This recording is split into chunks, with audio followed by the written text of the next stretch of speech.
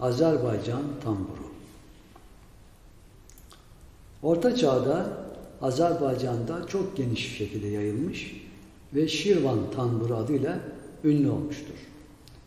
Tebrizliler tarafından çok sevildiği için sonraları Şirvan Tebriz tamburu olarak da adlandırılmıştır.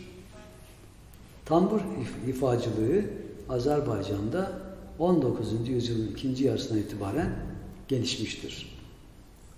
Armut şeklinde olup saz tipli aletler ailesine mensuptur.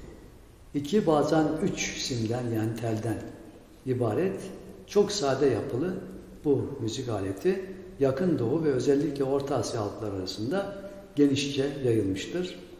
Tamburun çok eski tarihi vardır. Farabi onun İslam dininden önce e, oluştuğunu ileri sürmektedir. Orta Çağ'da saray ve folklor müziğinde geniş kullanılmış ve klasik müzikte çok sevilmiş bir müzik aletidir.